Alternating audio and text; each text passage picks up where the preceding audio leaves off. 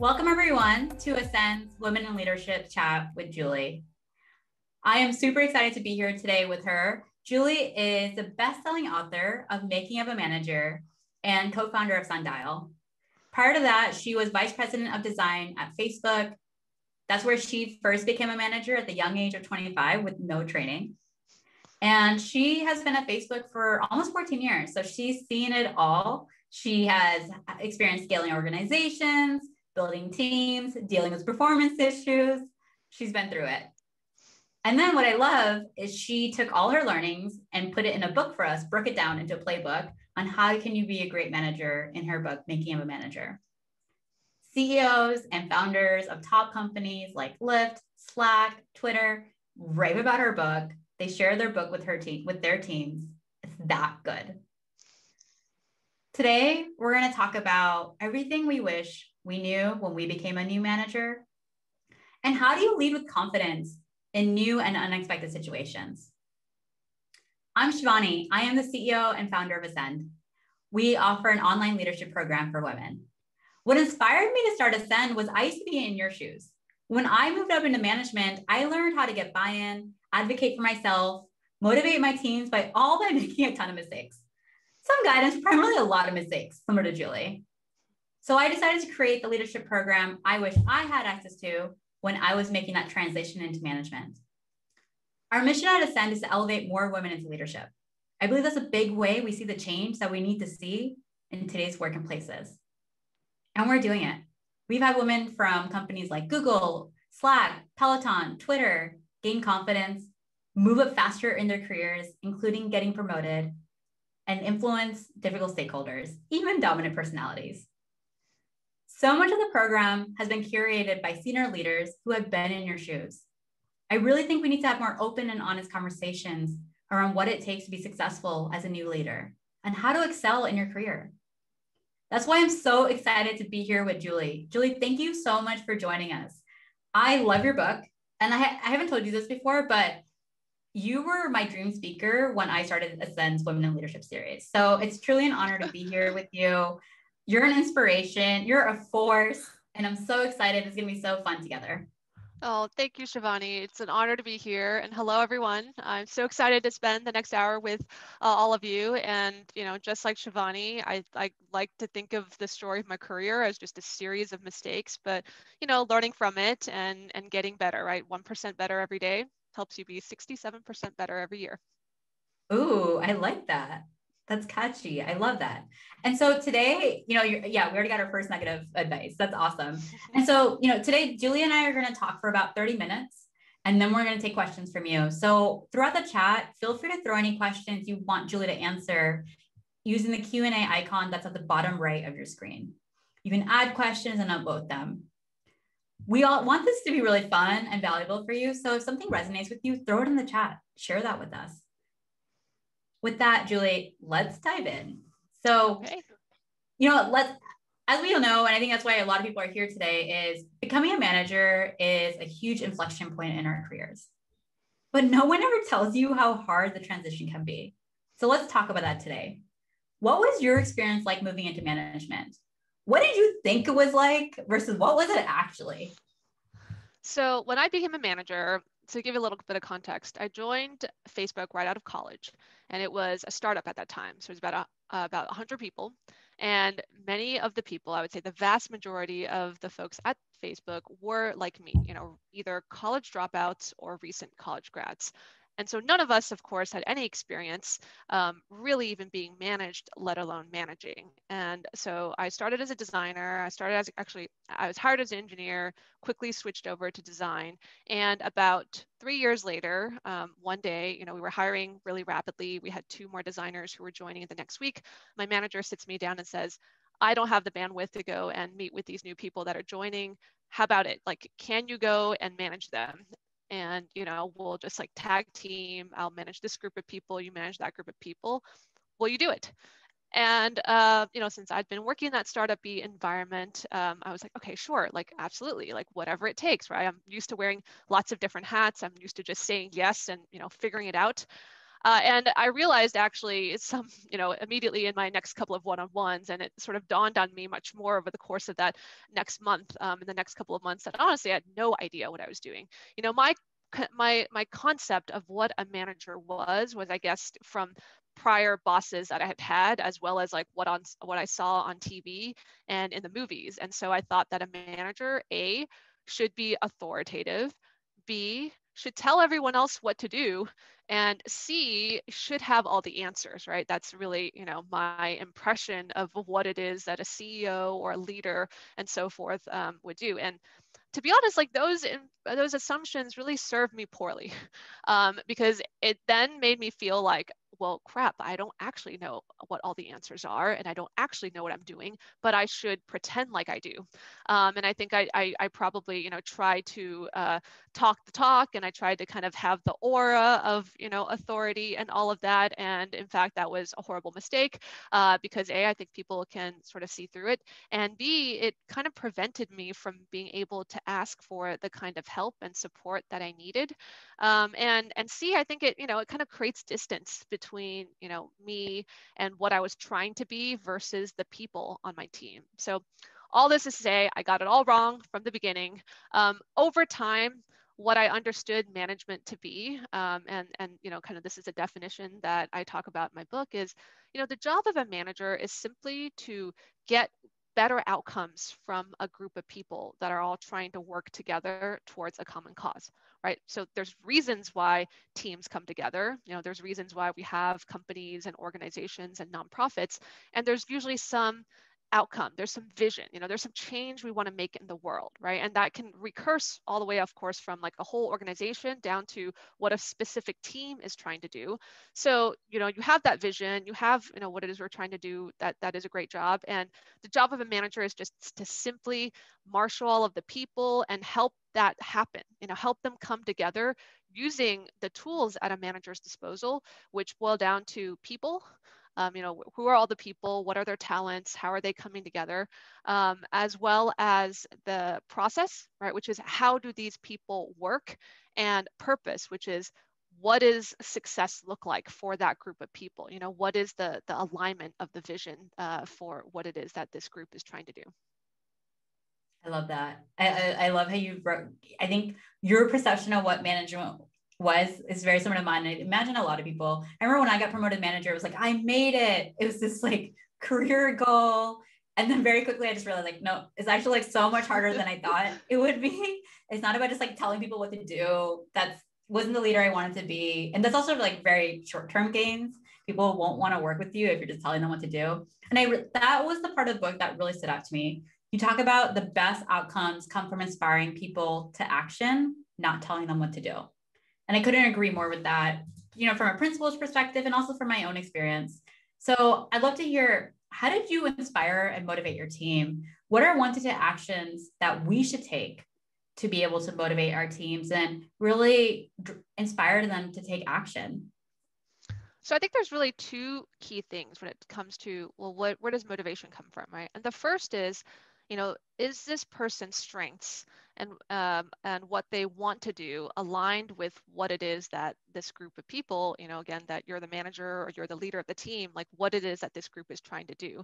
And i think that's the most foundational thing right? Because if that's not there you know if actually what this employee cares about and wants to do with their life is not that well aligned with what you know this team is coming together to do then you kind of have a foundational mismatch right? And it's going to be very hard to actually motivate that person because frankly they're they have they're in a different mind space they have a different vision and a goal. And you know i always think like life is too short for for all of us to kind of be stuck in a job or a role where we're really not that passionate about it. And if that's the situation then you know we should probably just recognize that and say it's okay to part ways. Um, and and so you you won't know that though unless you know the person well enough to be able to have those conversations and to truly understand okay like if this person is on my team or you know i'm, I'm working closely with them what do they care about really? And what motivates them? And how do they think about their job in the context of what they want out of life? Um, and so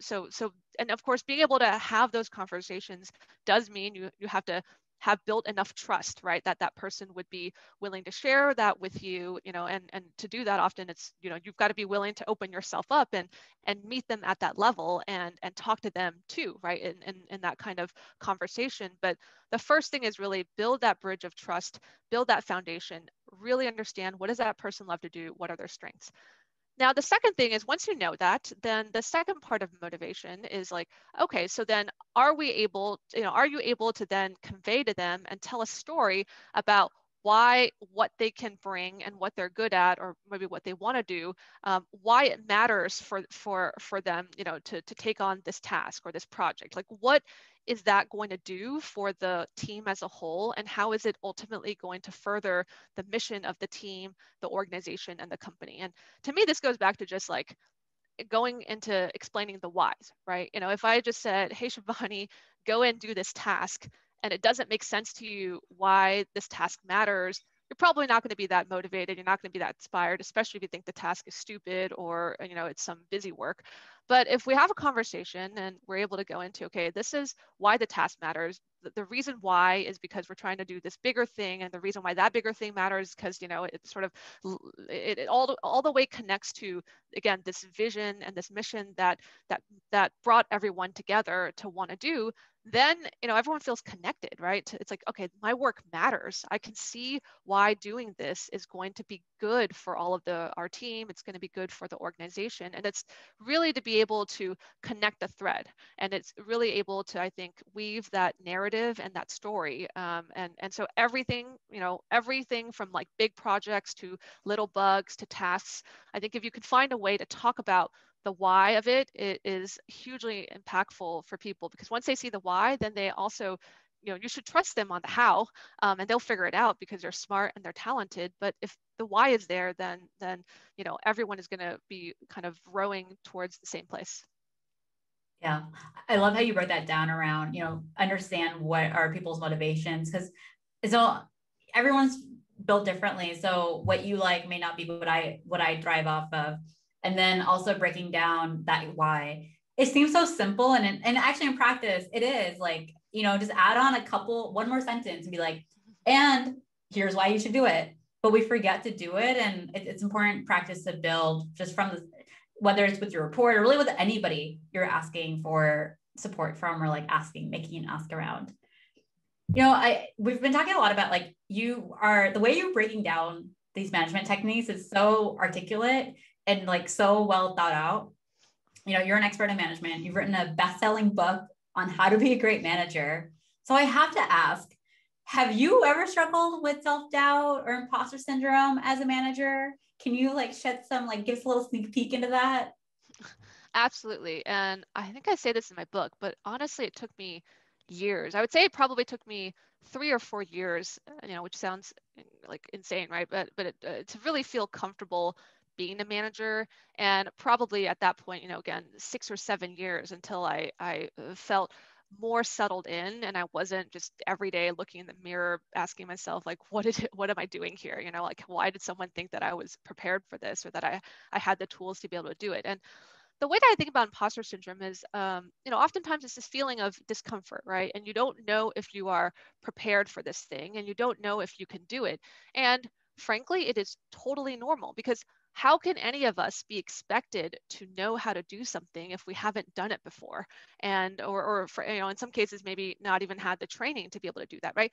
I think that's almost like an impossible ask that you know you could be invited or asked to take on this brand new challenge um, or go through something that is completely new to you and somehow feel 100% at ease in that situation. I think that's actually just, it's impossible. And I don't think that that's a realistic expectation for anyone.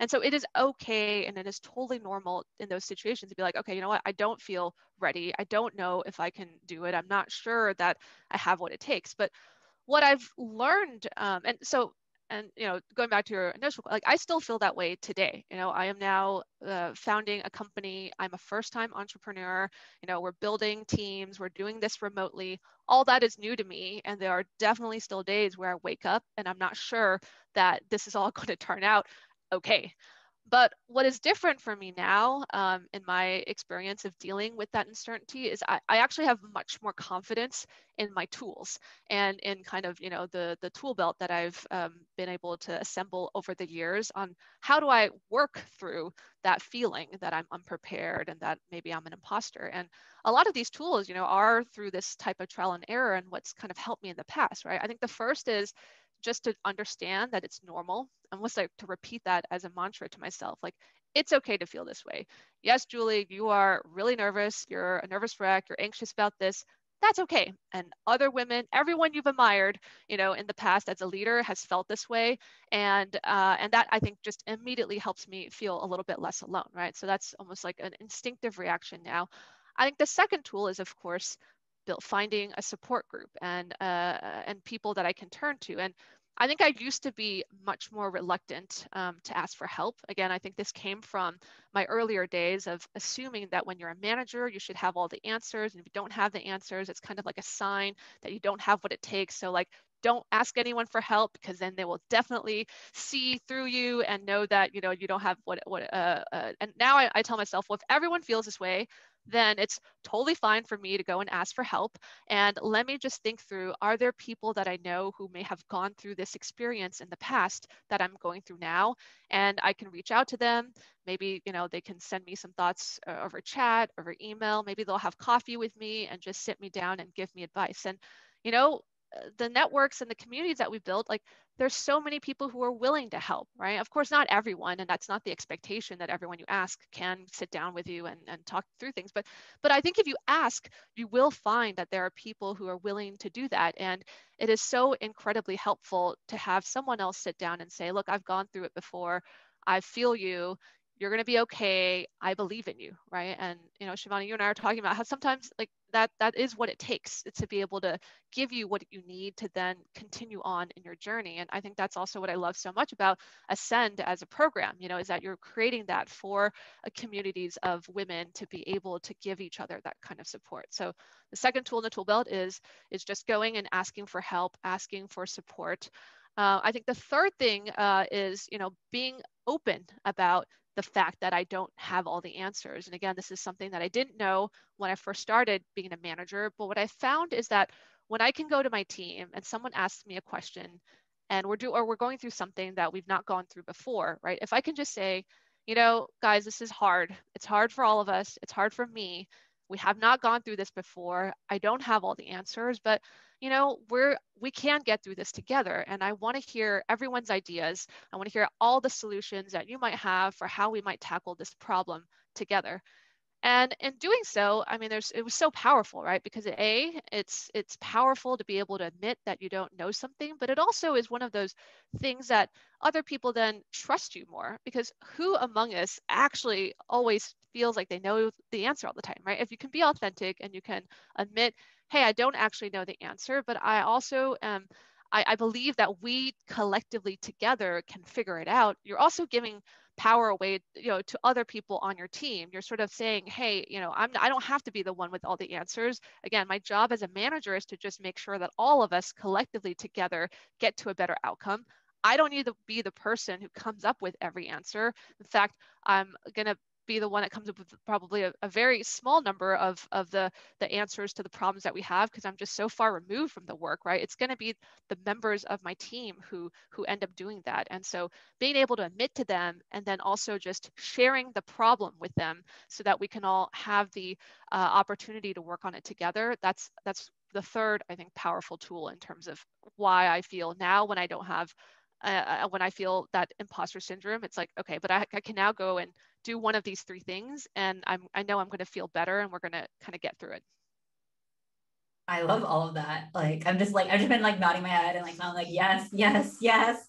I, you know, I relate to so much of that, really all of that. When I got promoted to manager, I had so much self doubt that I held back from asking for a raise because I was afraid that if they had to pay me more money, they might decide I'm not worth it. And really, it was just like that realization a few months later is like, everyone's new to management at some point in the beginning. And it seems so obvious now, you know, and you called this out too. It seems so obvious, but like in the moment, like I just got so caught up in my own head. And what you're talking about, like having that community is it can be so helpful to pull you out of that And Ascend, like as you were mentioning, you know, it's been so powerful for our members to realize, oh wow, I'm not alone. A bunch of other smart, qualified women face the same challenges as me. And once you have that support, once you've gone through those experiences, it's so much easier to just like pull yourself out.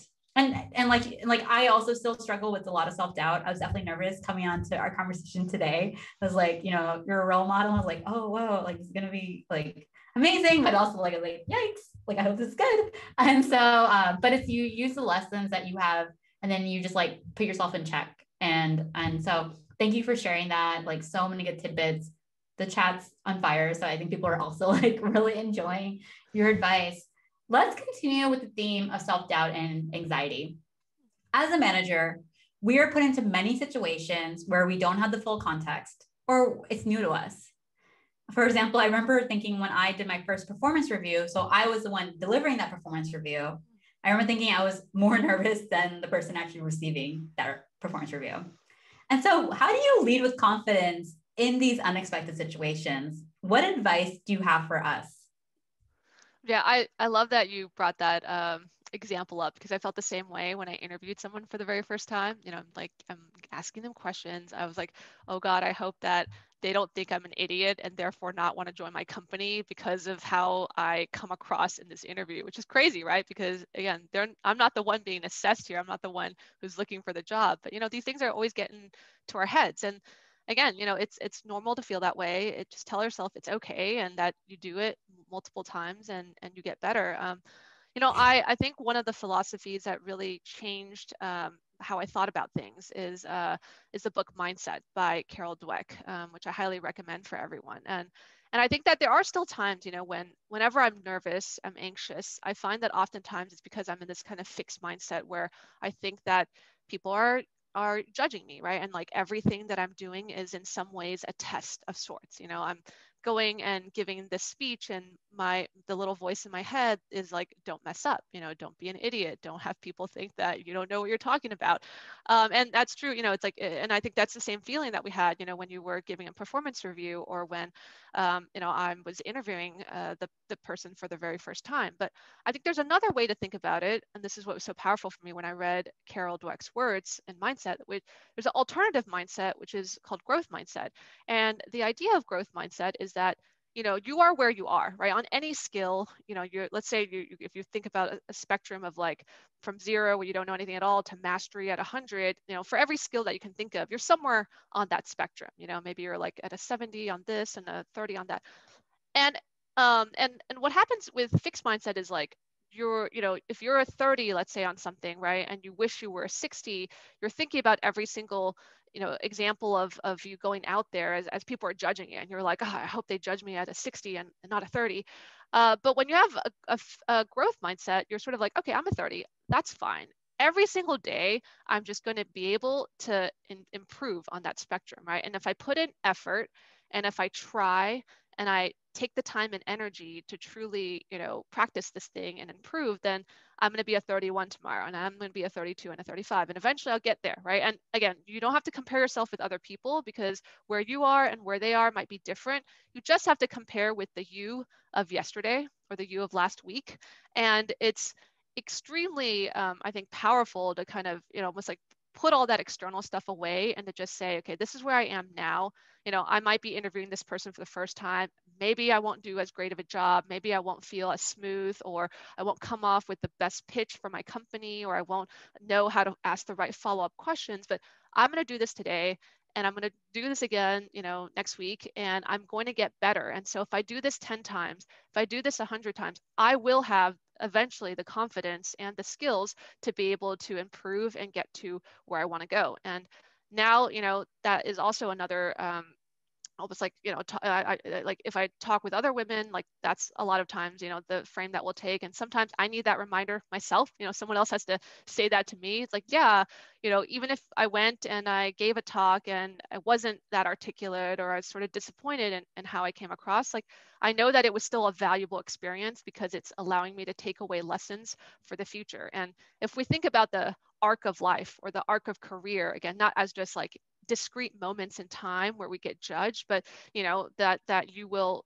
be a different person next year and your skills will keep growing then it's kind of a fun game to play. You know, it's sort of like you can always get better and you can always improve and you can always take opportunities, whether or not you did them well or not, as as a way to get to where you want to go. I love that. Uh, yeah, it's, it's I, I think about it, like I'm pretty competitive myself, and so it's always just kind of like this learning, like okay, well next time I'm gonna like fix this to go do it better. And I think also reminding that we tend to be pretty hard on hard on ourselves, and like where you might think you weren't as articulate, everybody else probably thinks that you were, or even if they didn't think so, it's not a big deal. Is there something that you have to do to like train yourself to think about this mindset, or is there any advice for people who are trying to be better at having growth mindset that you would give to them? Yeah, um, I think the first one is is just remind yourself all the time that you're not static, right? You're always a work in progress. And also, I find again, it's this weird mindset shift where before with a fixed mindset, if someone gave me critical feedback, I would be like devastated because I feel like, oh my God, this is a signal that I wasn't, you know, the 60 or 70 I wanted to be. And this is a sign that, you know, I'm actually not where I wanted. And it was like hard because it was almost like my identity was tied up in, you know, being uh, like the the version of myself I wanted to present. And with growth mindset, it's actually completely different, right? Because it's like, oh, like, well, if I got this feedback, that's going to totally help me get better next time. And it's almost like if I didn't get the feedback, I'm not going to improve. And so it's like this feedback is amazing. And and I think that getting into the habit of seeing feedback as a really good thing, you know, as a thing that the more you collect, the stronger you will be because you're almost like giving yourself rocket fuel um, and, and, you know, sort of that your engine of self-improvement. Um, um, that helps a lot, right? Because then you're, you're kind of going out there, you're being much more proactive. You truly want to know the truth and, and bad feedback doesn't hurt because you know that it's actually going to make you go grow much faster. And, you know, whenever I also think a lot about, um, uh, uh, you know, in terms of like, you know, if I look at myself and my position as a manager of like, okay, what kinds of people do I like to hire? Like, what qualities actually matter? It was um, really interesting observation one time when I realized that all the people I wanted to hire were the ones that were curious, that asked a lot of questions, that like always wanted, you know, feedback. They wanted to know how they could get better. And yet like i still had this thing where i kind of thought negative feedback was a bad thing. It's like how do i reconcile those things in my head you know? And and it was also you know really refreshing to realize like well, yeah, I like these people and I think they're going to be great employees because I believe in their trajectory, right? I believe that it, they ask for questions and they ask for feedback. And even if they're not amazing in their skills today, I believe like in a year or two, they're going to outpace the people who maybe came in at a higher baseline, but kind of think that they already know everything or don't ask any questions or don't really, you know, um, ask for feedback. And so that also helped me realize that about myself. Like if I went out there and I actively sought critical feedback and i actively you know tried to um, use that to help me get better rather than use it as a scoreboard of sorts um, that that that really changed my relationship to how i saw external um, and and how I, I kind of approached you know talking to other people about this stuff. Yeah i 100% agree. I love any and all feedback because i know it'll just help me grow. And if someone isn't sharing feedback with you then it's actually hurting you and like just embracing it around it you know, we've been talking a lot about the manager role, and I'd love to take it from the other perspective around us as reports. We all have managers. And, you know, the saying goes people lead, don't lead companies, they lead their managers. Managers have an outsized impact on our day to day, our satisfaction at work. How can we have a strong relationship with our manager?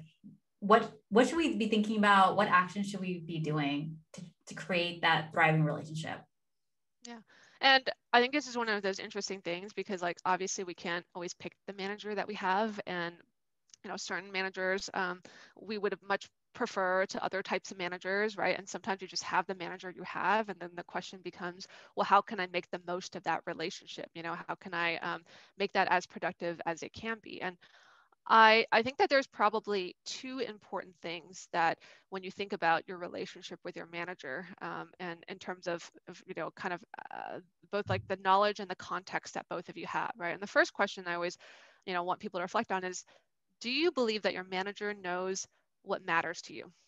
Um, and what matters to you meaning, you know, what your career goals are, um, what you think you're good at, what you think maybe you're not so good at, but you want to get better at. You know, where your, what are your hopes and dreams in five years? You know, what, how you again, how you per- perceive your job or work in the context of the kind of life that that you want to have right and um, and I think if you can answer very honestly, like, yes, I think my manager really understands that. That's like, okay, you've got, you climbed kind of the first hill. And, um, um, and I think that's a really great start, right? But if you don't feel like your manager knows those things about you, then the next question to ask is, okay, well, how can I make my manager aware of those things? And, and sometimes, you know, it can be scary, right? To kind of admit, again, your hopes and dreams to someone that, you know, maybe you don't have that type of you know very uh, open and, and trusting relationship with but i think it is still so important to be proactive in making sure that the other person knows that and you know the way you might do it is you might just say hey you know in our next one-on-one like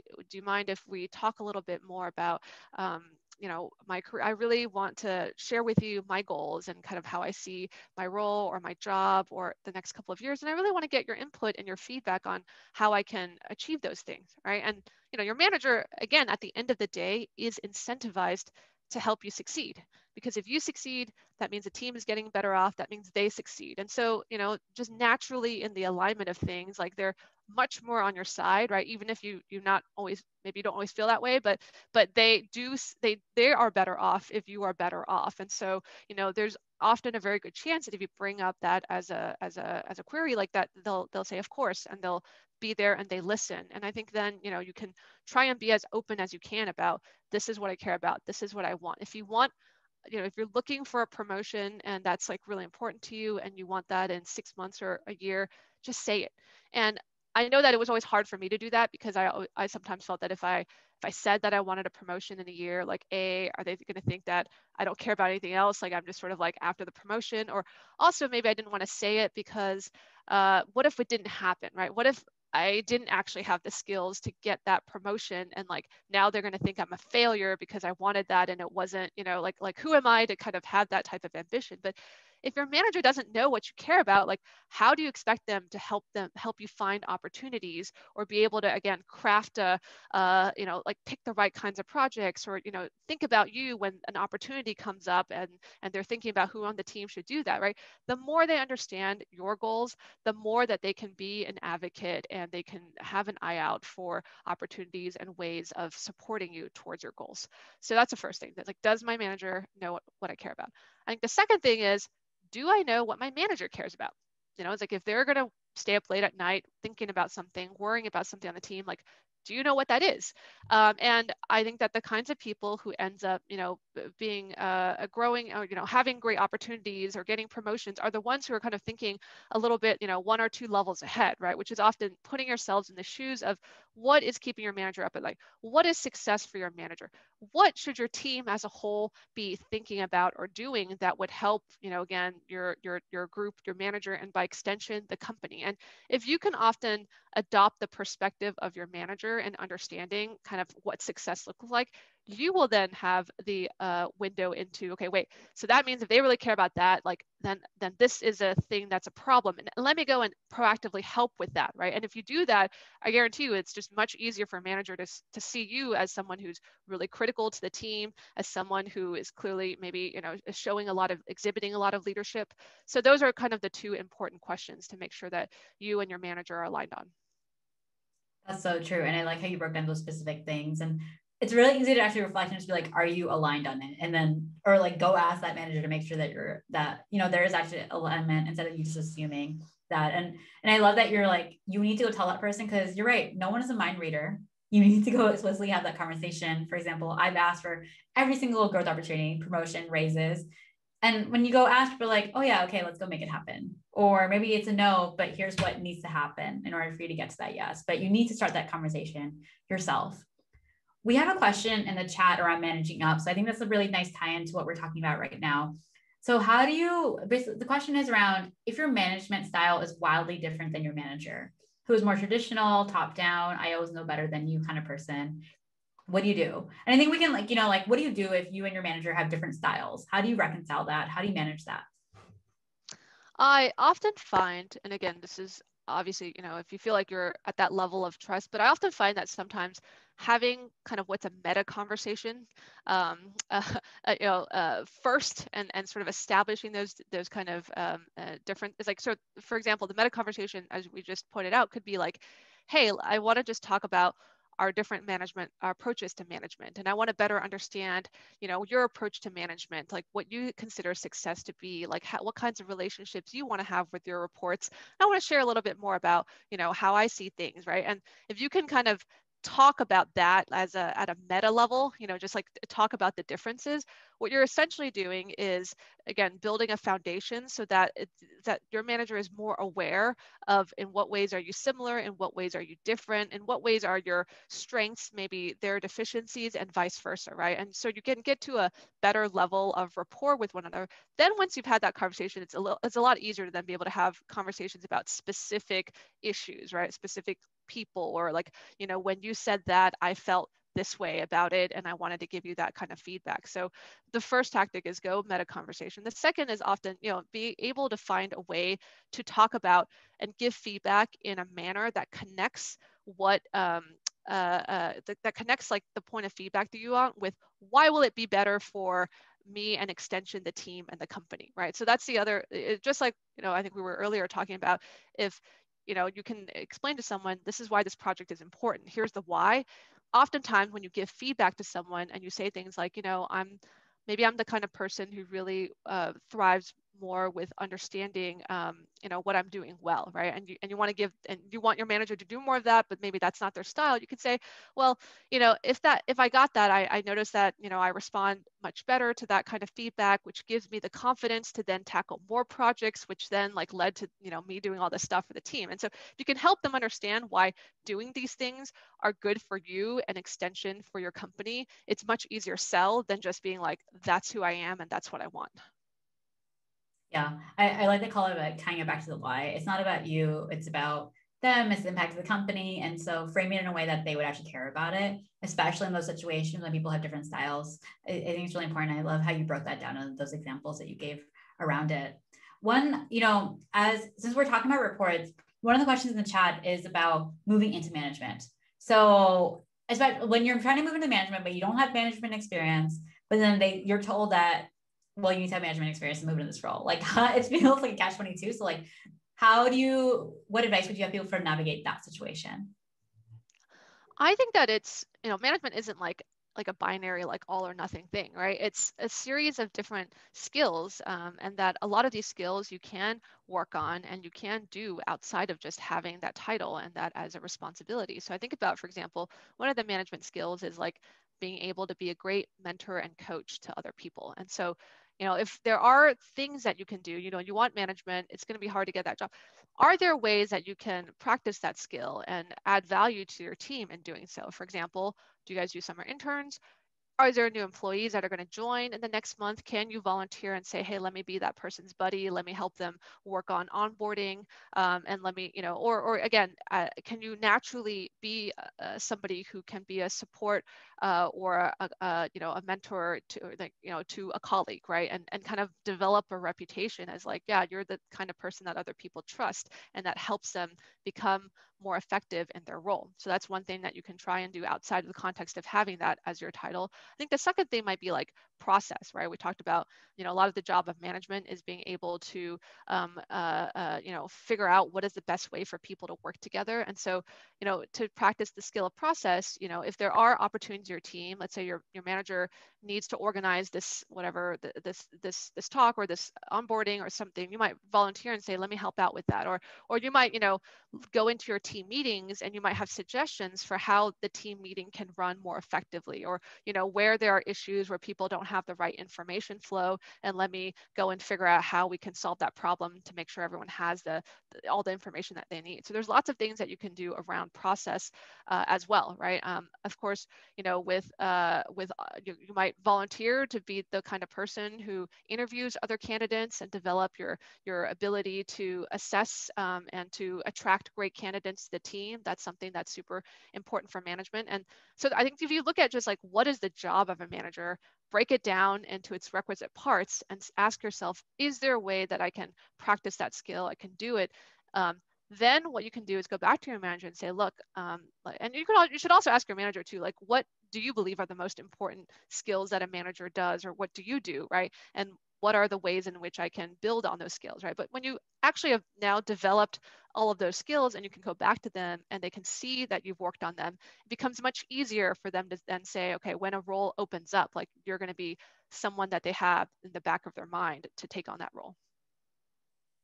I love that, like just breaking it down piecemeal instead of being like, yes, I haven't fully managed, but like here's all the roles of it and here's how I have experience around that. One popular question in the chat is around how do you be a manager but also stay on top of your design skills? So you don't become someone who doesn't really know their craft, their field after 15 years. And I think we can translate this to like any field. So they're not stopping like design skills, coding, closing deals, launching marketing campaigns, building product. Like, so yeah, how do how do you balance that technical skill with being a manager? Yeah, and I, I want to just come out and say I think that it is likely unrealistic to expect that after many years of being in a management role that you somehow still have the same uh, ability to be in the craft of the work as somebody who is full-time an individual contributor i just think that that's likely an unrealistic expectation and you know if you stop managing for or if you, continue managing for a while and you stop doing day-to-day design work you stop coding you stop you know um, uh, uh, uh you know doing user research you are likely going to get worse at those things, or at least you will not grow in them as quickly as other people who are spending all of their time working on those skills will be, right? And that is okay. Like that is absolutely an okay trade off. I think the thing you want to think about is what of those skills are important for you to be able to most do your job as as a manager? And so for me you know with design like i absolutely cannot design to the level that most of the people who have you know been on i've worked with on my team can do so. But what is important for me as a design manager is to still be able to have the eye right? So i should be able to distinguish what is good design work from what's mediocre design work from what's like you know not so great design work. The skill is really important so that i can bring in the right people to join our team so that i can continue to attract you know the top tier talent and also so i can i can sort of see people's strengths and be able to apply the right person to the project that most needs that skill so it's important for me to still retain my eye and that level of critique. But today, my eye is much better than my hand. Like, I cannot actually create the things that I think are amazing, and it's quite frustrating for me to do so. Um, but, uh, but you know, I, I, I've got to keep that eye sharp. I've got to continue to like actually talk with people. I got to understand like what it is that the great designers are doing, or what's sort of the best process for people to do their design work. Um, so I think it's both knowing in your con- context as a manager, like what is most valuable for you to be able to do your job and make those skills, you know, invest in those skills and then be okay letting go on some of the things and just knowing that if, you know, your team needs that, you should figure out the best person on your team to actually tackle that that specific icon design or whatever it is. Yeah, that, that's great. Thanks for the practical advice. And I think that's really resonating with people in the chat. And so it's good to know, you know, differentiating these are different skill sets, figure out what you actually need to be successful in your new role instead of what you previously needed to be in your previous role. This is all so many good insights. You know, before we wrap up, throw in the chat, what's your favorite takeaway? We have covered so much around what does a great manager look like, struggling with imposter syndrome, how do you manage that, how to a strong relationship with your manager, failure, how to, you know, we've heard so much. So throw in the chat. What's your favorite takeaway? What's one thing that you want to remember from today's conversation? Growth mode, tool belt, love the tips on overcoming imposter syndrome. Yes. So good. So many practical tips, which uh, like all over, like with every response. So that was super helpful. Relationship with your manager. What can I do to prepare myself to be managers is great. Yes, for sure. How to get in management without experience. Great. Yeah, these are all really, really good. Julie, thank you so much for joining us. This was awesome. How can people find you? So you can find me. I write a lot. Actually, my goal this year is to do like like kind of an essay, but in Twitter format. So I'm doing that once a week um, about management or design or product building. So um, at, at J O U L E E. I also have a blog, which now is just sort of a summary of all of these Twitter essays. Um, it's called The Looking Glass. And I have like a very large archive of blogs and other things, um, either on Medium or through my Substack. And of course, my book. Perfect. I love your tweets and I love your book. So if you haven't read Making a Manager, go read it. And thank you to all of you for all your amazing energy, questions, and chatter. You help make this conversation so fun. And you know, if you found this conversation today valuable and you want to develop the skills and tools around the topics we talked about today. So being able to influence, getting the habit of building, explaining the why, having your ideas taken seriously, rallying stakeholders, empowering your teams, then I'd love to work with you in a Ascend's leadership program. The program starts at the end of June. The six it's it's a six week, six week program. It starts on June 28th. Lilia is dropping the link in the chat to apply. It takes eight minutes. And mention that you attended today's conversation, and we'll fast track your application when we see it since the program is almost full. I love the group that's coming in. We have women from Twitter, Google, Slack, Wayfair, Amazon, Hopin, and so many other companies. The energy is so, so good. If you want to join us, apply now. We will send out the recording for today's conversation. Julie, thank you again so much. This was amazing. And you're you're an inspiration, a powerhouse. Thank you so much. Thank you so much, Shivani. And thanks to everyone who tuned in. This was so fun. Yeah, same here. This is awesome. This is so fun. Mm. Take care, everyone. Stay well, and we will see you soon. Bye for now. Bye.